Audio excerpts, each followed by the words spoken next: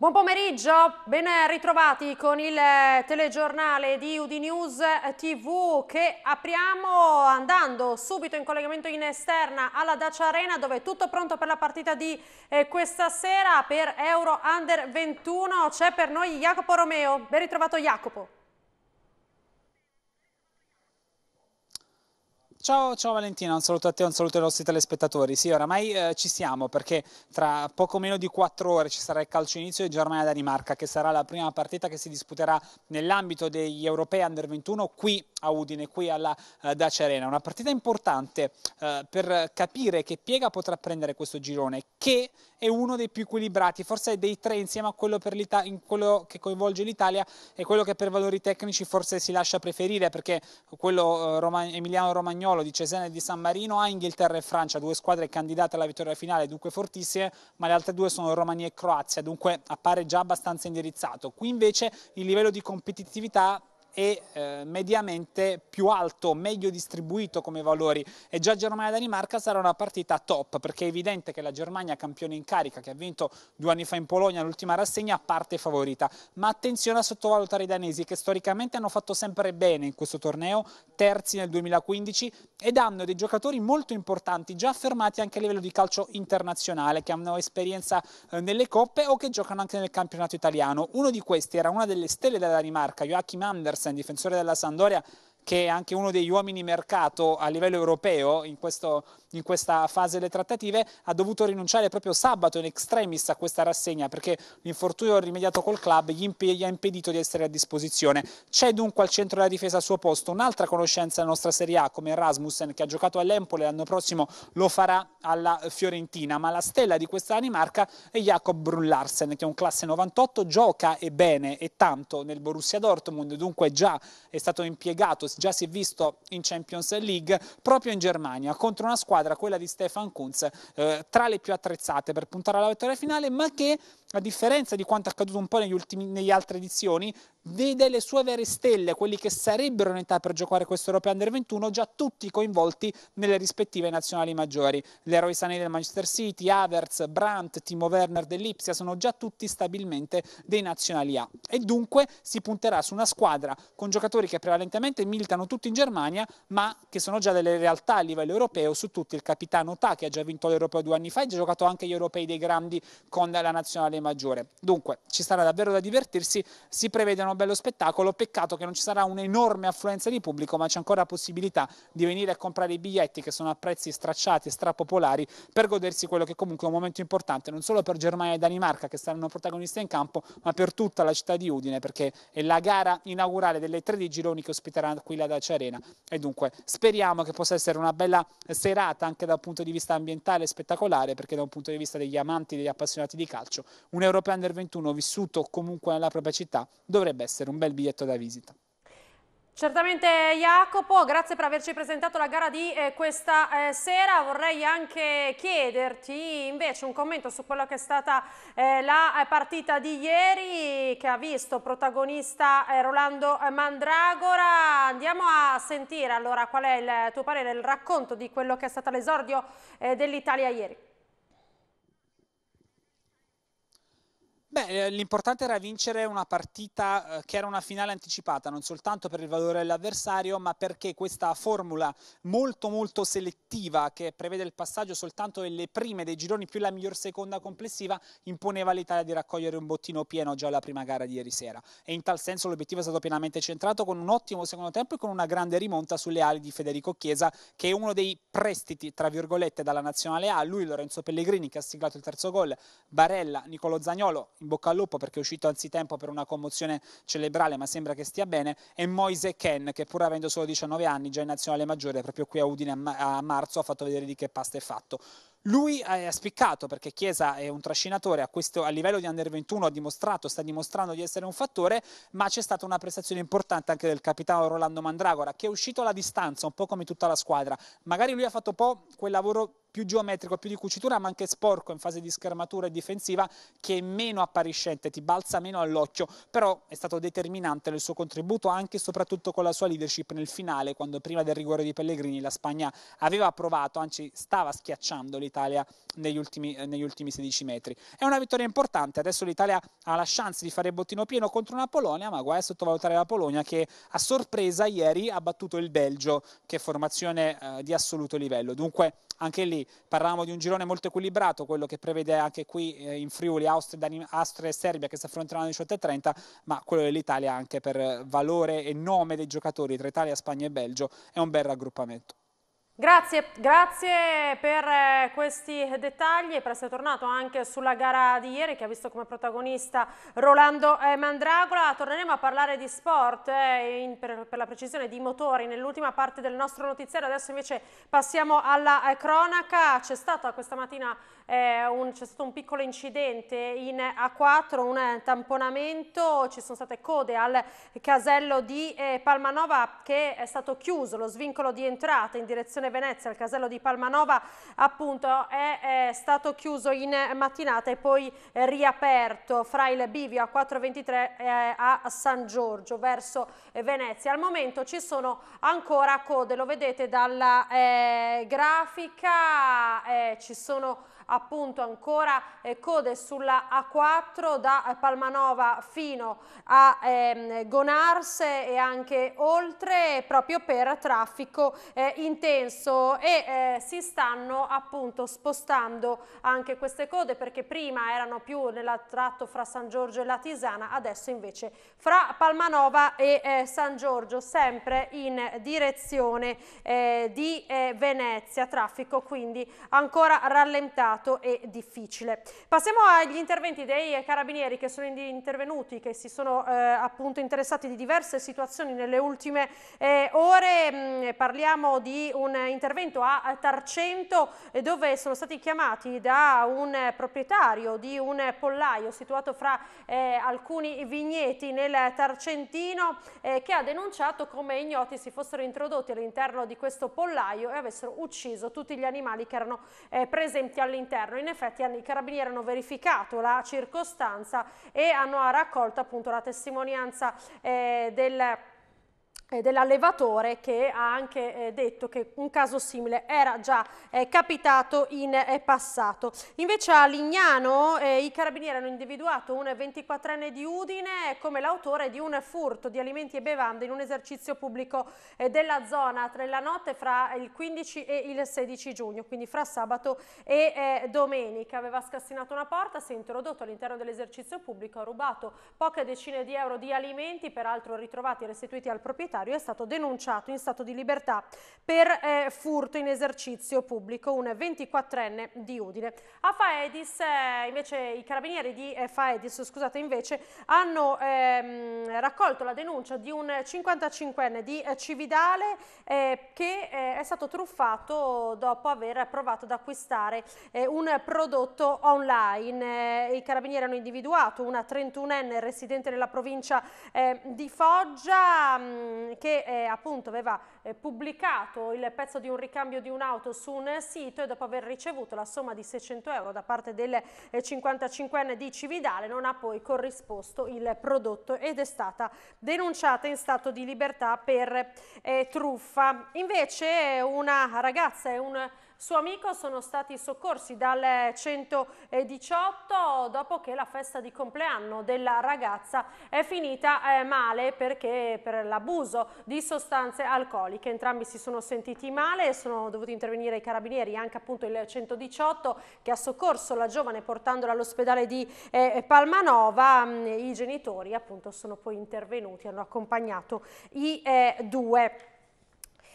Un ministro egiziano, cambiamo pagina, ha accreditato l'ipotesi che Giulio Regeni sia stato torturato e ucciso in un caso di eh, criminalità. È quanto emerge dal sito Al-Bavaba che sintetizza dichiarazioni fatte dal ministro del lavoro egiziano alla centottesima sessione della conferenza internazionale del lavoro in corso a Ginevra. In risposta a quanto evocato da alcuni a proposito dell'omicidio dell'accademico italiano Regeni, il ministro del lavoro ha detto che questo caso è di natura natura criminale e deve essere trattato attraverso la Procura Generale egiziana e la sua omologa eh, italiana. Safan ha sottolineato che si tratta di un omicidio ordinario che sarebbe potuto accadere in qualsiasi stato gli, come gli omicidi di egiziani in Italia o quelli di qualsiasi altra persona di qualsiasi altra nazionalità. Così il sito egiziano. E adesso torniamo a Udine, dove la Giunta Comunale ha approvato una serie di nuovi interventi per sistemare o realizzare ex novo dei nuovi marciapiedi nel rispetto delle esigenze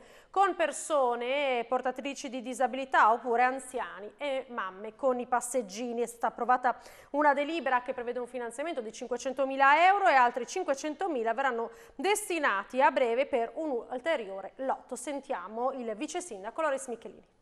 Abbiamo deliberato proprio oggi eh, la prima tranche del rifacimento o la creazione di nuovi marciapiedi eh, in città. Eh, sono 500 mila euro, abbiamo già realizzato i progetti internamente anche con l'aiuto degli addetti alla mobilità. Vado a dire l'elenco che fosse la cosa più importante che interessa i cittadini. È via Valleggio, via Mameli, via Morosina, in un tratto tra l'altro, via Forni di Sotto, via Mantova, via Gorghi, via Villalta, via Volturno, via Gabelli. E poi abbiamo via Cormoralto, via Martignacco, via Badasseria Media, via Molini, via Pieri, via Dante, il gruppo a parte, poi c'è un altro gruppo che partirà la prossima settimana di altri 14 marciapiedi che però hanno la particolarità che una parte deve essere espropriata in quanto va a colpire una careggiata mista pubblico-privato. Quando si prevede la realizzazione di tutti questi interventi, la conclusione? Allora, mentre stanno già lavorando su alcuni tratti, per esempio via Dante, via Pieri eccetera, c'è un secondo eh, lotto che è già partito e quindi verrà realizzato a breve, questi qua, questo gruppo qua di questi marciapiedi, adesso partirà la gara d'appalto, tempo due mesi, e inizieranno i lavori perché dobbiamo terminarli entro fine anno sicuramente. Entro fine anno prevedete dunque di realizzare circa 35 marciapiedi? Sì, più quelli nuovi che verranno realizzati col secondo lotto che andiamo ad approvare la prossima settimana, che sicuramente inizieremo, ma non termineremo entro la fine dell'anno perché presuppongono una parte di espropri. Stiamo progettando altri 60 marciapiedi che riguarderanno il prossimo anno. In occasione del convegno promosso a Muzzana del Turniano sul futuro dell'edilizia in regione, il governatore Federica ha parlato della semplificazione a cui si arriverà grazie al progetto di legge numero 26, che darà vita a un sistema dedicato al Friuli Venezia Giulia. Grazie al progetto di legge 26 prenderà vita un sistema Friuli Venezia Giulia in grado di ragionare in un'ottica d'insieme per sviluppare in primis nei comparti edilizia, turismo e ambiente azioni sinergiche contando sulla semplificazione burocratica e quanto annunciato oggi a Muzzana del Turniano il governatore Massimiliano Fedriga, partecipando al dibattito sul futuro dell'edilizia in regione ospitato dall'azienda Zanutta. Dagli uffici della regione a tutto il territorio, ha spiegato Fedriga, è il momento di guardare in prospettiva, perché se tutti lavoreremo nella stessa direzione si otterranno ottimi risultati. Con la forte semplificazione messa in campo con il progetto di legge 26, chi vuole operare piccoli ma utili interventi strutturali non sarà disincentivato né tantomeno bloccato. Il governatore ha quindi citato le ingenti risorse, oltre 55 milioni di euro, stanziate per l'edilizia, inclusa quella legata al turismo. Mi auguro che le nostre iniziative, affermato, possano garantire nel breve periodo un ritorno in termini di crescita e occupazione, in quanto le scelte messe in campo, comprese quelle fiscali i cui effetti si vedranno a medio-lungo termine, in un Friuli Venezia Giulia sempre più importante nello scacchiere europeo, sono mirate a contrastare la stagnazione dell'economia continentale per dare prospettive a cittadini e imprese.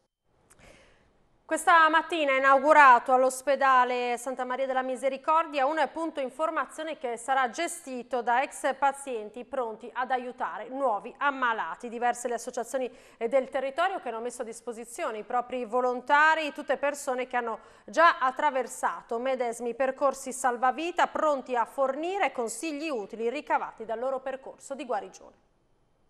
Assessore, quest'oggi a Udine si apre questo sportello, forse una cosa innovativa, uno sportello fatto per pazienti, con i pazienti. Bellissima iniziativa, noi in campagna elettorale avevamo anche eh, messo nel nostro programma eh, di poter dare la sede delle associazioni dei pazienti all'interno dell'ospedale, magari in uno dei padiglioni che verranno dismessi. Eh, questo attualmente non è ancora dal punto di vista pratico, eh, edilizio, no, questo non è possibile, però questo è sicuramente un passo fondamentale che può portare verso quella direzione. Io sono particolarmente contento di essere qua, ho ringraziato il sistema del volontariato che ci aiuta ad aprire la porta delle nostre strutture sanitarie per raccontare quello che non funziona in maniera di poter riuscire a, a rimediare ma ho auspicato anche che si possano raccontare anche le tante cose che funzionano. Oggi pomeriggio sarà impegnato in giunta in comune proprio per la sanità, anche lì si chiedono risposte per quello che è l'emergenza del personale.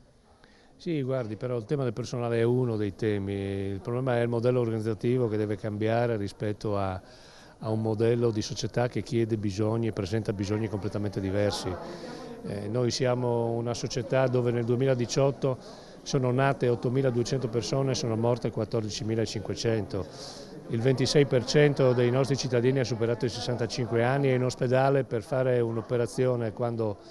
decine di anni fa si stava dentro un mese, oggi si entra la mattina e esce il pomeriggio. C'è un bisogno eh, che va affrontato di cronicità che deve trovare risposte molto più fuori dalle strutture ospedaliere che dentro le strutture ospedaliere. E torneremo a parlare di sanità anche all'interno del nostro notiziario delle eh, 19. Adesso invece diamo uno sguardo all'Italian Bahia che è stata presentata a Fiume Veneto, una gara del mondiale di cross country che si terrà dal 21 al 23 giugno.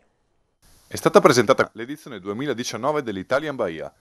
La terza tappa della Coppa del Mondo FIA Cross Country Bahias si terrà dal 21 al 23 giugno tra le province di Pordenone e Udine, in uno scenario d'impatto. I 56 equipaggi iscritti a questa gara di fuoristrada si daranno battaglia su greti di meduna, cosa e tagliamento.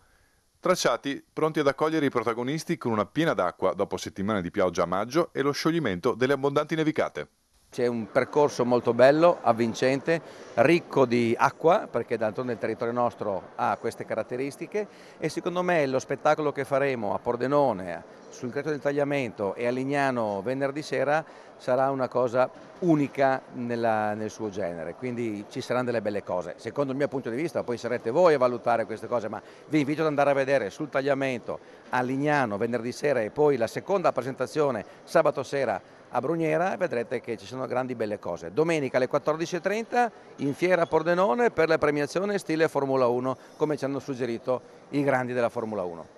Io consiglio di andare a Valvasone, al Valvadrom, consiglio di andare magari nella zona di Spilimbergo, consiglio di andare sul torrente Cosa, ci sono vari ponti e vari argini dove in assoluta sicurezza si può vedere gran parte del tracciato di gara. È molto difficile, lo sappiamo, andare a vedere proprio come si fa nei rally a bordo pista, perché questa è la, la, caratteristica del cross country, ma se soltanto guardate le immagini che so della Dakar o di altre manifestazioni di questo genere non vedete mai tanto pubblico assiepato a bordo strada come capita nei rally. Questa è la caratteristica del cross country, però stando in alto e chi è privilegiato con l'elicottero vede uno spettacolo meraviglioso. Ma ci saranno le immagini, ci saranno i droni, le immagini fatte con l'elicottero che comunque stando in fiera si potranno vedere. Prima di salutarci diamo un'occhiata a quello che è successo quest'oggi in Italia e anche all'estero. Travolta dalle polemiche arriva dalla Cina il sostegno alla governatrice di Hong Kong, Carrie Lam, invitata a lasciare l'incarico dal movimento di protesta che sta attraversando da giorni il governatorato con manifestazioni oceaniche contro la legge sulle estradizioni in Cina. Almeno otto persone sono morte nel naufragio di un gommone carico di migranti nel mare Egeo al largo di Bodrum e salvate 31 persone. Intanto sei migranti sono sbarcati sulle coste sarde, i sei, tutti uomini, sono stati trasferiti in un centro di accoglienza. L'Unione Europea ha un tempo limitato per adempiere ai suoi obblighi nel quadro dell'accordo sul nucleare ed è meglio che si assuma le sue responsabilità nel poco tempo rimanente, altrimenti l'intesa crollerà, così il presidente iraniano Rouhani incontrando il nuovo ambasciatore francese Thiebaud.